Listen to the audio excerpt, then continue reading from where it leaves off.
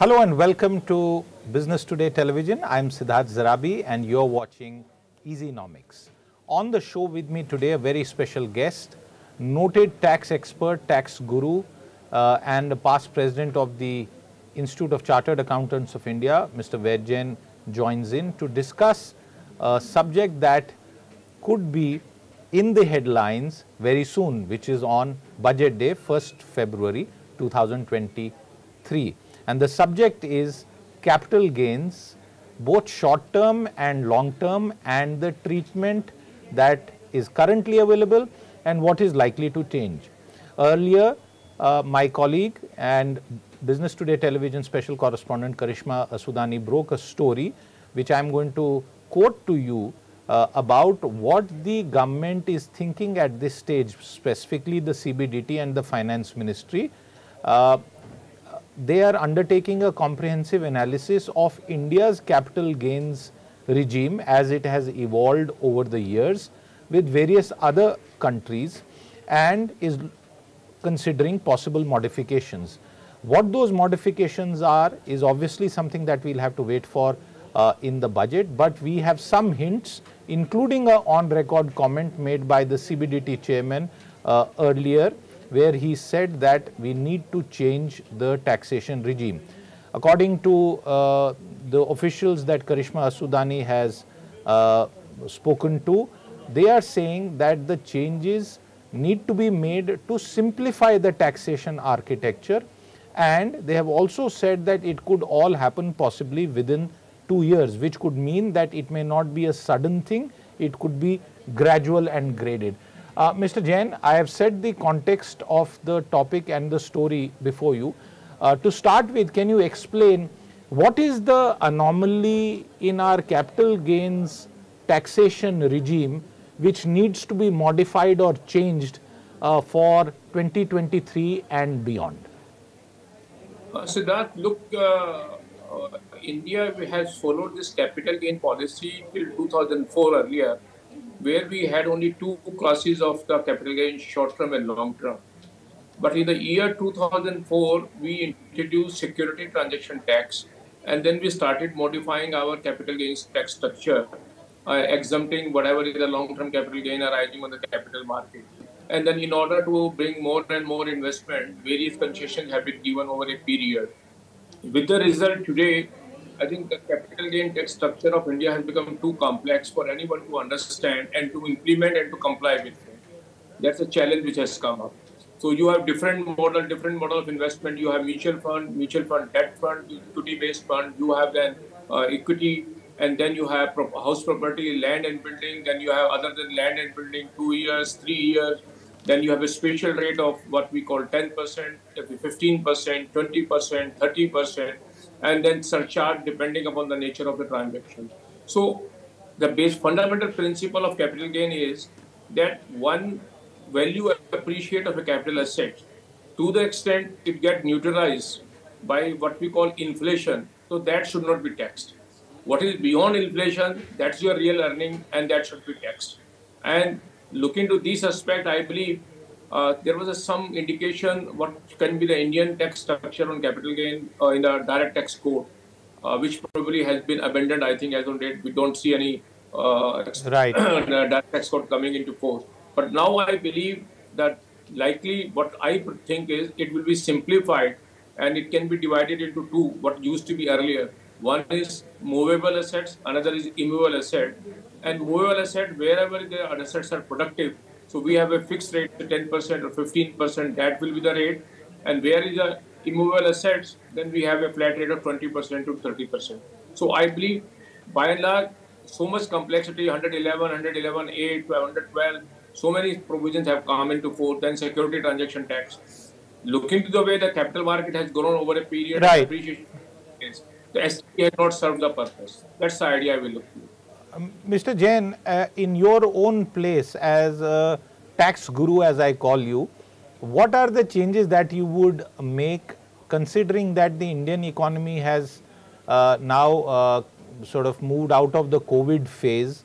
Some sort of recovery has happened. The capital markets are booming, but like you said, capital gains are not just on uh, capital market transactions, but also on uh, some other uh, asset classes. What should be the ideal approach? Because many people, uh, and even today if we were to do a poll on this, are confused between short term, long term, real estate 3 years, uh, uh, mutual fund, equity treatment, ULIP treatment. So, it is it's quite a bit of a muddle.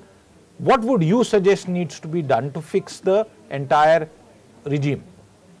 I, I'd say to simplify it in the best possible way. One, one my proposal will be that two year less than two year is a short term and beyond two year is a long term. That's so simple. We don't make any distinction between any asset, movable, immovable. We simply say if you have held the capital asset for a period of more than two years, then it is long term, then it will be short. So simple the formula should be clear on that part. And in case it is a long term, then the tax rate will be two rates, one productive and non-productive. If it is a productive investment, then 10%. If it is non-productive, then it is 20%. That's a flat rate.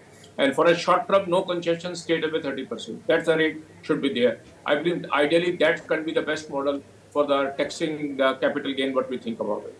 Because okay. short term, by and large, is not really a capital gain. You make money by churning out.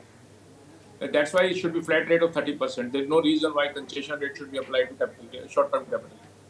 I want you to quickly explain one point. In terms of the rates, at this stage, uh, do you see the need to increase the rates or unify them and moderate them? See, idea is, I believe, to simplify and to remove complexity in the capital gain tax structure, rate of capital gain. I don't think that's idea.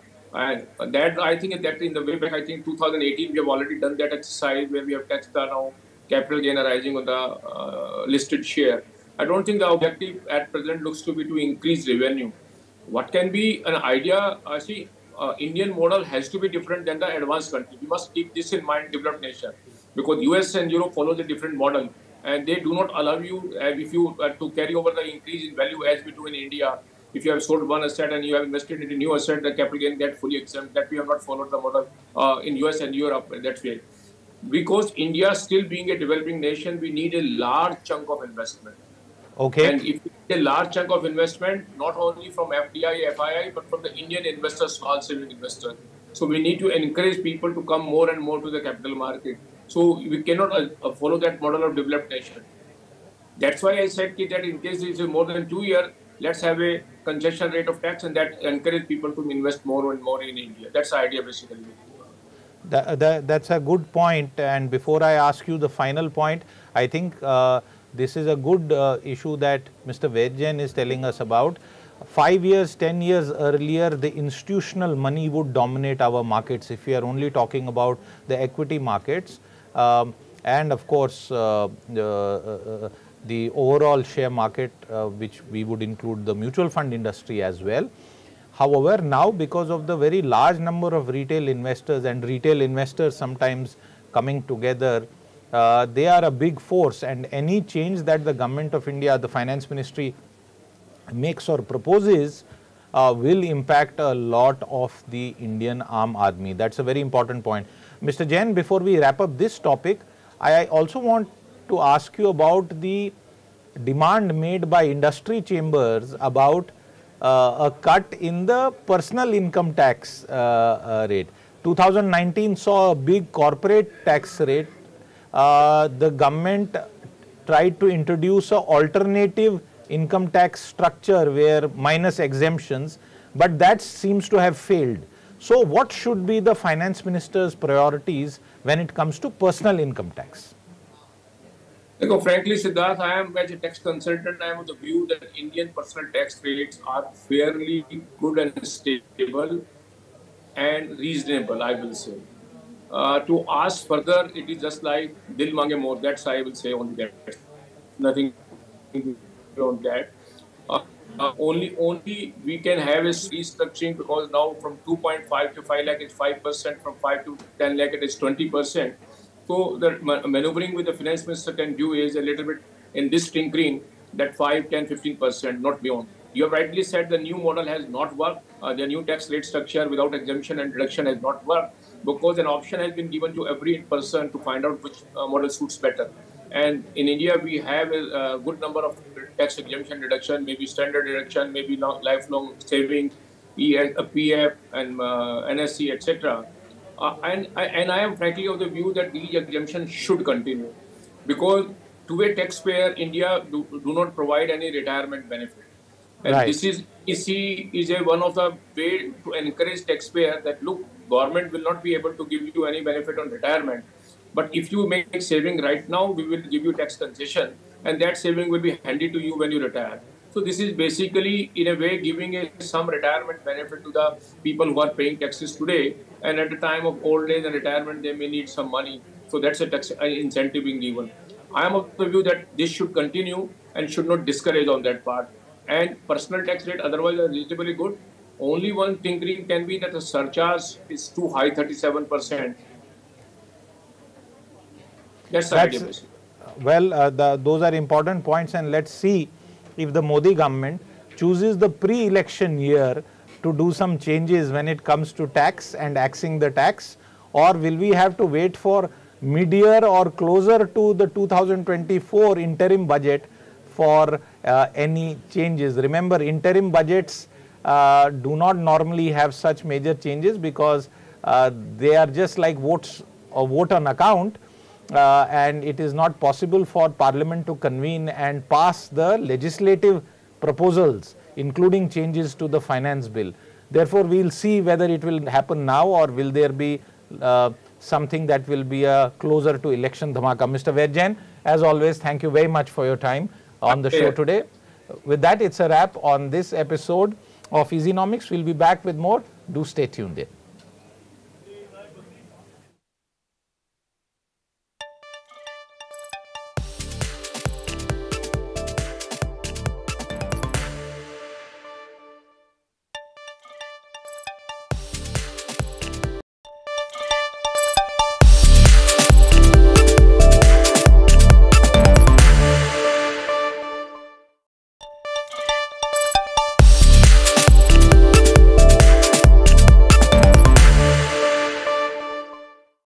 Hello and welcome to Business Today Television. I'm Siddharth Zarabi and you're watching Easynomics, the show where we pick up subjects